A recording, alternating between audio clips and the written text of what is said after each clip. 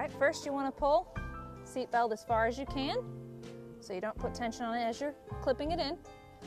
Goes through the loop. Most harnesses will have some sort of loop. Down into the buckle. And there they go. They're ready to ride.